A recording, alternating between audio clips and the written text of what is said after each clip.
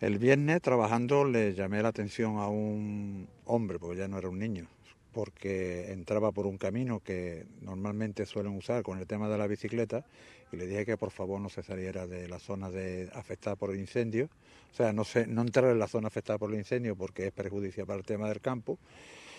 y prácticamente hizo caso omiso de lo que se le dijo. Entonces, eh,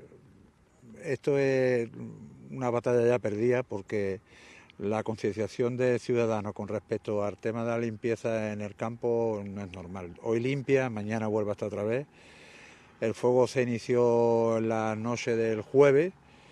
eh, y el viernes por la noche ya había gente aquí en esta zona de aquí pues comiéndose bocadillo, tirando botellas, tirando botellitas de estas que hay que utilizan para inflar los globos, etcétera, etcétera, etcétera. Quiere decir que la concienciación